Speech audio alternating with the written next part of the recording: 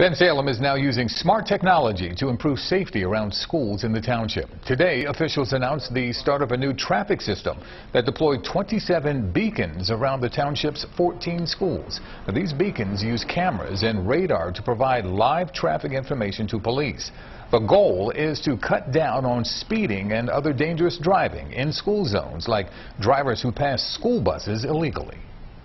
This cutting-edge solution will minimize and mitigate the possibilities of something not good happening. We saw a problem and they said let's fix it because students are our number one priority here to make sure that these kids are getting to school and getting home safely.